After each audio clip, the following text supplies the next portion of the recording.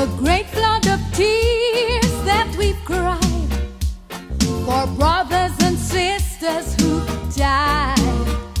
Over 400 years has washed away our fears and strengthened our pride. Now we've turned back